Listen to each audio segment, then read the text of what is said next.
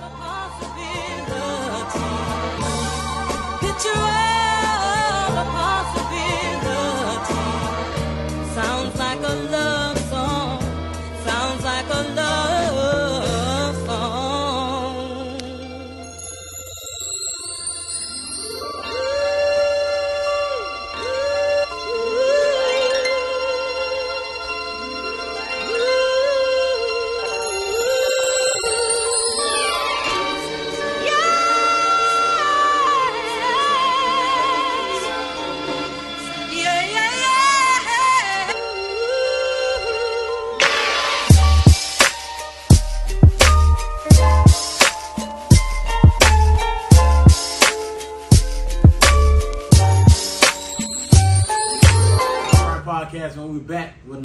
episode for y'all, man. We got some new special guests y'all never seen before.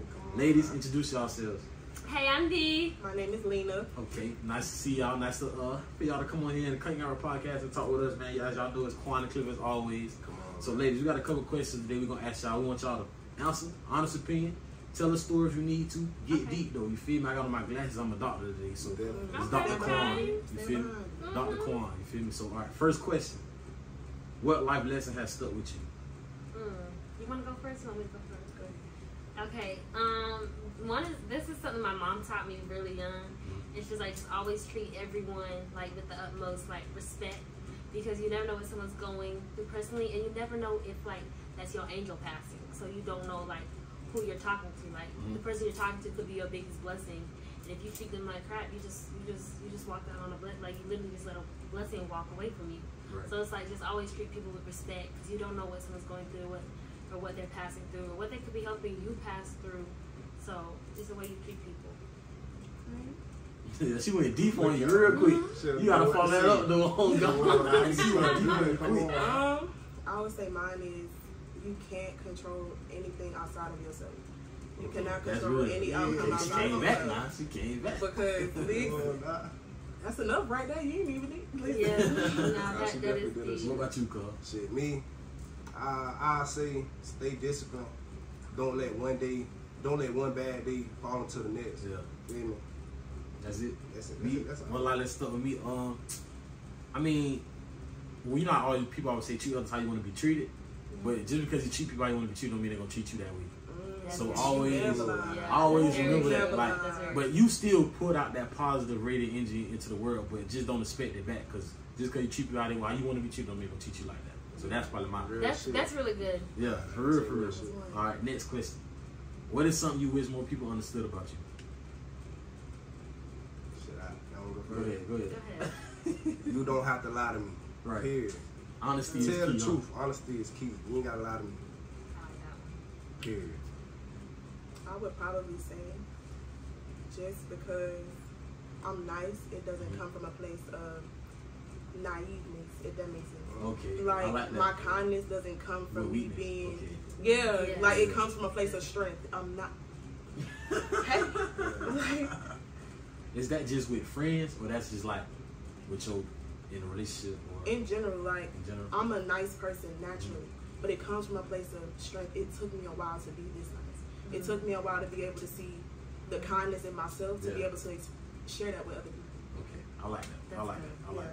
that. Um, I think mine would be like people like think I come off as mean, and I'm not mean. I'm just guarded, and I think like once you like break through that guard and you like Yeah. get to know my personality and me as When a I first met Vi, I was like, yeah, she's definitely. I'm not mean. I'm so nice, and I'm always laughing and smiling. But people mistake like, like they just think I'm mean, and it's not mean. It's guarded, and it's just because of everything I've been through that has Mhm. made me this way. Like I'm still like, like I'm such a sweet person, but it's like that exterior shell that shows, like you would just assume mean Girls. and it's very, it's literally the 360 because like I'm the nicest person I know. I'm saying a lot. Okay, so for me, what is something uh, I wish people more people understood about me? Uh, just because I put on, like, I mean, it's not be putting on, but just because I'm put on, I'm strong. You know, I can handle everything. Come on now, Oh, come all on that. now, dig it. listen, come dig on. Sometimes, sometimes I need help and support too. Like, Yes. just because I'm a man, like sometimes I need that love and support too. Like, it's just not me by myself. Like, it comes with You know what I'm saying? I'm not. I can handle everything, but I can't handle everything at times. You know what I'm saying? So Right. just because I put on like this strong big figure, I'm a, I'm a soft. I got a heart too. You know what I'm saying? Mhm. That's what I always other Yeah, people. yeah, yeah. Feel me? So all right. So what's more important, forgiveness or acceptance? Um, forgiveness. Um, something my mom taught me really young is forgiving people is not always for you. I mean, uh, for them, it's for you, because you're the one who carries on that unforgiveness for the rest of your life. Some people never know they hurt you. Like a Mhm. big thing my therapist taught me was they will never know they hurt you. Some people will never know they hurt you. They never know how they affected you. But you're the one who's carrying around that anger, that sadness, that Mm. guilt. Hey, you just said something. if you don't let go of that and learn to forgive the other person, then you're stopping you from moving forward and moving into your own blessing. that's real.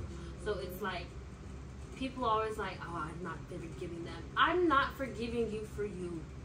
I'm forgiving you so that I can move on and so that you're not stopping me from reaching my blessings. Because if I hold on to all that anger and hate, it's only turning me bitter. Because you're gonna move on. Yeah. You're gonna That's heal real. She, Yeah. she's snapping though. She's Like- snapping though. Yeah, Yo, she's snapping right now. Like you're gonna move on, you're gonna be happy, you're gonna do whatever. I'm gonna be the one sitting around thinking about how miserable you made me. Yeah. And I just think like moving on and like there's so much growth that I've done personally within the last four years. Like I don't want to hold on to unforgiveness and hate because you're only hurting me. And I've seen I've seen what years and years of that can do to people. Like I've seen the effects of unforgiveness in people's lives. So it's like I'm forgiving you. Yes, I'm forgiving you for you, but I'm really forgiving you for me, so that you don't stop me from getting where I need to go in life. Because I never want, I never want to be the o- like the reason that my I've my own blessing. Like I don't want to look back and be like, if you had let go of that sooner, you would be so much further. Mm-hmm. I like that. That was real though. That was real.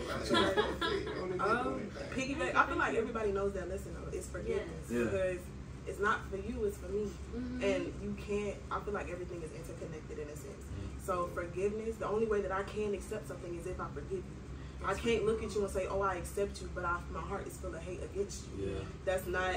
How do I stand in a place of integrity and say that I care about you? Like it's just. Oh, you you can't can't shake the room. Nah. I ain't Yeah, even you gonna say the can't. I'm trying to think some shit to say, but they really like They own it though. really own but it. now, yeah, but like like she said, like she said though, you can't, you can't, you got like you can't accept without forgiving. Exactly. I feel like Real you, once you forgive, then you can accept. Accept like, the that's with situation, any, yeah. That's with any problem. Like it's like I'm gonna go with cheating. So cheating for a I standpoint, was like just- with a cheating standpoint, like Yeah. once you forgive somebody, you gotta accept that what come with it. Mhm. Like Yeah. if you if you continue to mess with them Because you can't build on right? it. Exactly. So you gotta you gotta accept that okay, they done did this and did that with that person, this person.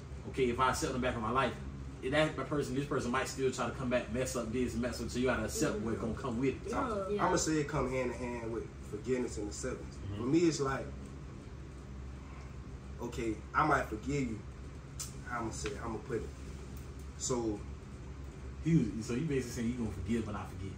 Like, basically, in a way, it's kind of like I'm always. I, it's really acceptance over forgiveness, honestly, for me. I, I thought about to say that too though. for me, honestly, because it's like though, I gotta accept. I I gotta gotta accept that you did wrong, and then I gotta. feel- I don't know. I, it's just it's 50 50. give or take. I don't think so because like even like even T.D. Jakes said in one of his sermons, he was like, Mm-hmm. "I'm gonna forgive you, but I'm still going to watch you because I've seen how you move about me, and I'm gonna make sure that I don't make the same mistake I made that caused me to have to forgive you in the first place." So it's deeper than that, you know. What you gonna say? Cause you like you gotta say something.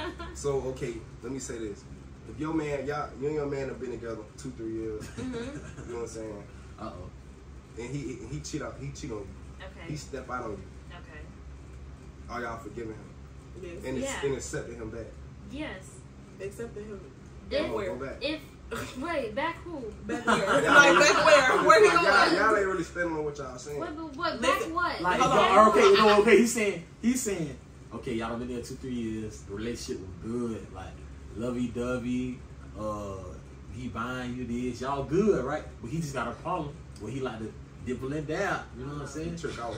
So if you accept, so if you forgive him, he's saying, are you gonna accept him back, like, and be in a relationship with him again? No, I accept you for who you are. Mm-hmm. That does not mean I have to accept you back in my space. Exactly. Ooh. Oh shit! Shit, drop it down. Okay. I look yo, this bitch trying to compete. I can't you can't even. even. They You can't. No, but be on my deep thoughts. No, because you gotta protect your energy. Oh, yeah. Yes, I'm gonna No. forgive you Jesus. so that I can move on. We can all move on. At the end of the day, you've hurt me. She You've hurt eating me. right You're now. not But coming they- back into my me circle. What they I say, apology accepted, but access denied. Denied. You're done. Yes. You're done. You're not coming Christ. back. You're done. It's all love though. Yeah. Damn. If you need anything from me, I still got you. Let me you. know what if you sick. Come. I will help you. But all I got for you. Oh, that line Nah, you baby. cross, you can't uncross. Oh, so so it's one time and it's done. Cause we, oh, we be having this debate, like we be Oh, having this debate. If y'all Yes. if y'all watch, we be having this debate. I ain't even gonna ask. Yes, ask Ask ask. Okay, which one do y'all feel like is worse? Mental abuse or physical abuse? Woo, mental abuse. You cannot. Oh mental shit! abuse for sure. Stop playing with. I Mental. said that. mental Yeah. abuse for sure. because that's Bro. so like you don't understand. Like Okay, no, no. So then I'm, I'm gonna ask. I'm gonna ask how I put it though. I'm That's gonna, okay. you Would you rather be cheated on or physically abused? That's the same shit, right? Mental abuse. They ain't cheating mental, no mental. Did you say? No, I'm gonna tell you Ask how that I question Would you rather be cheated on or physically abused in a relationship? Cheated on. Because if you touch me, Thank you. yeah. Thank you. you That's the touch me, answer. That's Everybody want to be hit. okay, not- but that's what I. That's And not even that, the mentality that comes with like physical abuse. Like I'm always gonna flinch. I'm Thank you. I told you, bro. I told you. It's it's always gonna be a thing. It's always like Cheating, you're you can let that putting shit me go. back I into told that you. mindset I of told you, you bro. you've hurt me, and I'm s- I know you'll hurt me again. Like It's it's the not real even. question. I ain't mean to cut you off. No, you good. So, do you feel like if you take a man back after after he cheat on you, that you lack self love as a woman? No. How is I that? told you. So you don't like self-love? he doing like clapping his. Hold on. I told this boy, man. So if you take your man back after he cheat on you, you don't lack self love. No. You, you being your best you. No. Hold on. it's a little bit of both. I can't like. I, no, I, but You- I said, I said, not because, of, but I said, I said, if a woman takes some man back or cheat, she has self love because she has, she has enough strength I was to just deal with that on problem. Yeah, to deal Because with there's it. no way No that I real know. shit. Because how, how can you? Okay, having no having no self love is like, I don't, it's just you So gotta have somebody sounds self love That's if you to take keep somebody taking that him hurt back. you back. That's if you keep Yeah, if you keep taking him it back, you have no self Then you don't love But yourself. if you mess up one time, But you if fix it's a yourself. one and Yeah. done, So that that sound right with you. Like that sound. that's not giving you an excuse to go cheat once though. I'm just saying. No. Okay, so Cause don't get it twisted. you being your best you, you doing the you Yeah. Mhm. you I, being your that's what I best you. You told. I don't let a said. man. I feel like you have. You gotta have self love to take a man If, back because you gotta have deal with a what comes with it. relationship where like if like let's say we're married, we're married, been married for like five plus years, whatever, Something happens. I told you. I'm dumbfounded right now. It's told you. it's not we have how do I word this right? Eating. So You you- got something to So say. you being Speak. your best you, Eating on me. you gonna Speak take so a I man can out. think. told y'all. Right. personally, pers- as a personal, A person. Personally, no. Exactly. Just for the simple fact that I love myself enough to never put myself in that same position again. Come on. However, I can understand if a woman does decide to take him back because at the end of the day, you should have self love before you enter a relationship anyway. Thank you. Yes. Okay. But if that woman chooses to see not only the potential but the the longevity of that relationship and chooses to What's the see you, longevity? Baby, I don't know. That's between her That's and him. that's for her and her man. Y'all That's between her lost and me. For her man. But me personally, I told you, girl. Oh, yeah, I'm this. not. I'm not taking nobody back. Hello. Okay, I, don't, so I don't even do this goes friendships into retakes. this goes to the next question. Uh-huh. Love and poverty or secure life and marriage? Okay, this convenience? This was a great one. This I is a really it. good question. Appreciate it. Um, mine was poverty, love and poverty. Only for the simple fact that I can't love for convenience. I can't marry you in convenience. Like Mhm. no matter what type of poverty we go through, we can hustle out of that, Right. and there's actual love in that. Yeah. So I'm not gonna stay down for long. That's for sure. Yeah. But I can't look at you and not know who you are and say that you're Bad somebody times. that's yeah, like Yeah. no. Gotta be battle tested. And then also like money changes people. I need to know that you're gonna be the same you broke or rich. Because money changes people and people start acting like once you get your funds up, people start acting funny. I don't got time for that. I need to know that what we started, what we built, the foundation we grew up on, even if it was a zero dollar bill, we gonna be the same people when it's Yeah. a billion dollar bill. Like you know, like it needs to it needs to I'm not First of all, I will never be put into a situation where I have to choose. I just won't. I'm not gonna. I'm not gonna do that to myself. I feel like I'm not gonna enter a relationship if I'm not financially secure enough to take care of myself, and if I know that the person I'm with is not financially secure enough to take care of me. So you want to come? You want to start like hard times coming, like So stuff. happens. basically, she not walking herself into that. She, Yeah. So she, so you're not gonna mess with no broke. She's not messing with no dude. broke. That's basically what she just said. Not no, because there's a difference between No. broke and trying, like not there yet. Like there's a very big difference between broke and not there yet. personally, from someone who is like knows what it is to not have it all, I'm not going. I'm not taking steps backwards. Backwards. Like I've already moved so far. I'm not. I'm, I'm gonna not say, I'm going gonna say this. My heart want me to go with being broke, being in love, but my mind is telling me something totally different. You know what I'm saying? Period. And that, that's just real. Like, Um, I can you can say that all day, but for me, in both aspects, it's more like foundationally. Yeah. Like there has to be a foundation in both settings. So no matter what, in love and poverty, there has to be a foundation set between me and that person. No matter if I'm married conf- for convenience, there has to be a foundation set surrounding something that keeps me grounded. Yeah. Because no matter if Understand that's like, in a sense, like y'all said, the See what cheating thing. Even if go ahead, Yeah, yeah. see what he I'm gonna gonna just say this. I understand it. I can relate to it. A nigga broke now. I'm just saying. It's like. We Okay. college students. That don't even Yeah, count. like it's just like okay.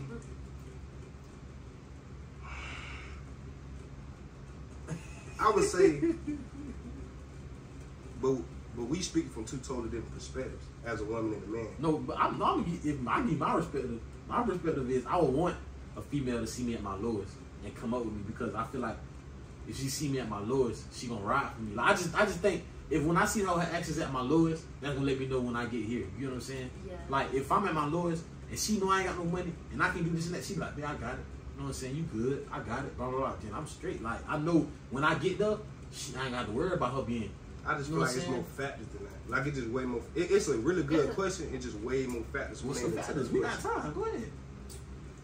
Being being poor, like actually being poor with somebody, truly brings out the real in somebody. So it's like That's what I'm saying. You'll get the real version of them. But so you say, say, cause you meet somebody when you making a hundred and twenty thousand dollars a year, and she know you get you she you show her a life that you could provide for her.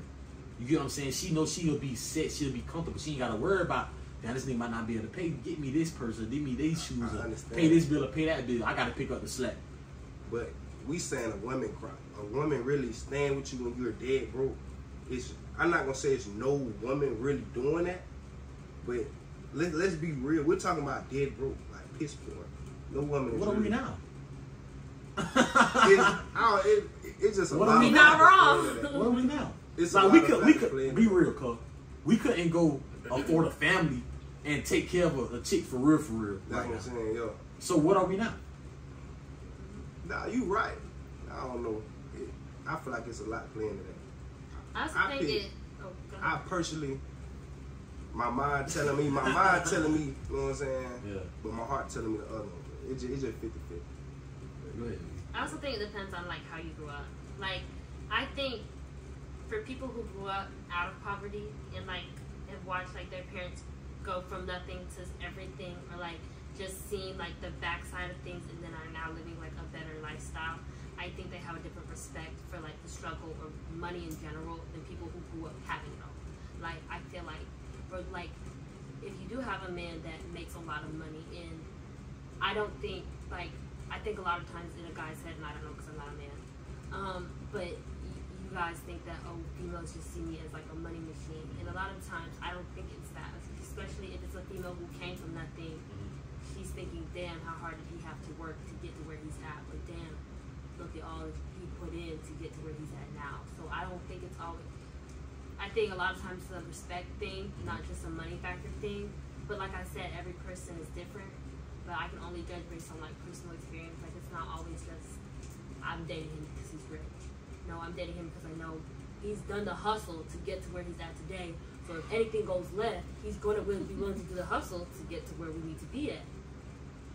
Okay. So, in today's, today, this moment in time, Mm-hmm. if a man, okay, I don't even know how to ask it. It's just like, No, it sounds better than it really is. You get what I'm saying? Yeah. Like, it sounds way better than it really is. Like, nobody truly just want to be fucked up and poor. Like, we, when it's really put in front of you.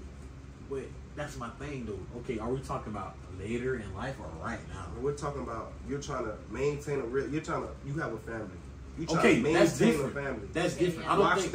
I don't think a your woman. I don't think a woman would put themselves like in a situation where their man can't take up care of the household. I just feel like being in love and, and being broke are something that just don't Yeah. them should never They combine. can't. Yeah, them, they can't coexist well. Those can't coexist. It's no love. Being dead broke, I don't feel like two people to love dead But broke. I mean, isn't that also just like a big thing within the black community that struggle love, that like started from the bottom love, that like You feel we me? saw our You parents me? do it, so now like, I mean, not we're necessarily following in their footsteps, but we understand the struggle love Yeah. aspect of life, so it makes us see like things from that perspective. I, I truly understand it. Um, I just. What do you got to say about all this? I'm I'm not the type of personally. I'm not the type of woman that will allow myself to be put in a position where that would ever be the case. Yeah. However, I'm the type of person that doesn't want for my man to do it all. Yeah. Like I'm the type that actually wants to build with you. Like I don't like, oh my man got all this and he gonna buy me this and buy me this. Mhm. What is it that we can pour into for Each generational other. wealth? Like Yes. generational wealth, not just me and you, but what is it that we can do to make it better in the long run for outside of me or outside of ourselves? Okay. I like that. I like that. Okay. How would you want your significant other to support you when you feel stressed or upset?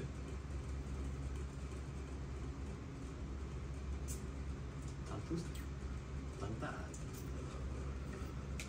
I, I go first. Yeah, Yeah. I, Okay, let I feel like. I want my woman to pour life into me if I'm feeling stressed or, Okay. you know what I'm saying? I need something, you know what I'm saying? I just need comfort at the time. Right. Might need shit. Might need my feet rubbed, my back rubbed. You know what I'm saying? Just real shit. You know what I'm saying? I just need to be tended to. And that's that's it. That's all I'm saying. Really. What about you? Um.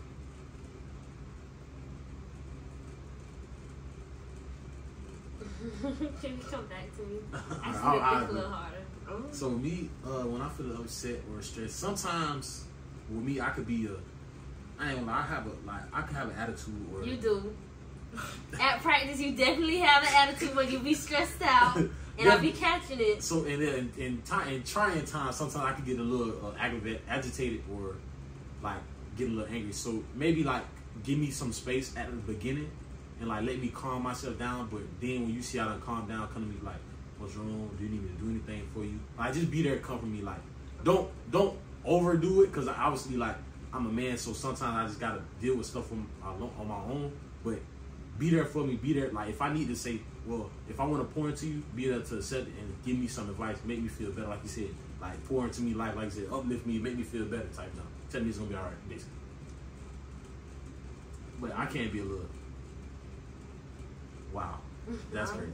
She talk about football. It's, it's, okay, whatever. Mine for sure. I would say All of be patient. Like just be patient because I'm a person that values clarity. Yeah. So you have to be patient with me because I'm gonna make it make sense.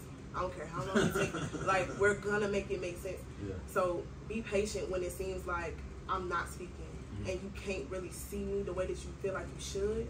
It's because I need to gain clarity. So be patient enough to ask me the questions because I'm gonna do the same for you. That's good. Yeah. Shit. I think I'm gonna piggyback off of her, but Ooh. not no, but not really like. I think I'm a person who needs time. Like you need Right. to give me time to like collect my thoughts, but don't don't ever give me more than 24 hours. Like don't ever give me more than 24 hours. Like my mom always said, like don't let the don't let the sun set on your anger or set on your emotions. You don't go to sleep with a heavy emotion like on your chest. Right. And so it's like just give me time to like process things alone because sometimes like I'm I'm really introverted. So like sometimes I just need like two hours alone. Like two hours alone to sort out what's going on in my head. And then come talk to me, be like, what's wrong or like what's going on or how can I help you? Because I just sometimes I just need to deal with it on my own. And in those first few moments I can't deal with it with you because I don't know I don't know what's going on myself. I just know that I'm frazzled, confused, angry, or feeling an emotion, and I don't know how to express it well. So I think my biggest thing is time. Like, just have the patience to take time with me. I like that. Okay, so this is the last question. We're gonna wrap it up. If you was to die right now, Oof. what would we, what would what would be remembered about you on this world? Like, what would you leave in remembrance? Like, or what type of person are you? Blah, blah, blah. Like, if you was to die right now, what would you leave? I was gonna change it up a little bit. Go ahead. Go ahead. Go ahead. What would you want? Well, you kind of, we kind of talked about it earlier. Like, what would you want um, the world to know about you. I say, like, But that's the same, about the same we thing. about the So same- yeah, we what about the same shit. if you was to die Like, right What now? would you want to leave? Like, what message basically would you want to leave to the world? In a way, I guess. Yeah, okay, we gonna go with that. One. Yeah, if you was to feel- die right now, what message would you leave to the world for people to know? Not about just about you, but like about a life thing, like about life. Um, this is actually gonna sound weird, but I don't want the world to know. Like, as long as my family members and those I was closest with remember. Okay, well, what do we leave them? What would I leave to them? I think, um, my heart. Like, I think they know. Like, my family knows I'm such a giving and open and caring person. So, like, like if, like my legacy would be like just continue to like leave my heart. Like, just be that, be that person for someone else. Like, even if it's just a listening voice or like someone that being a safe space for someone. Um, lot of times, like, people don't always feel open talking to everyone about mm-hmm. everything. But people like to tell me about their lives. and I love to listen. Like, I'm such, like, I will sit there and, like, because I want to know what makes you you. And so, like, just being, remembering to be, like, that person that someone can run to. Like, no matter what happens, they know I can go tell her this and she's to listen to me and she's not to judge me and she's to, like, help me find a solution. Like, it's a judge free zone.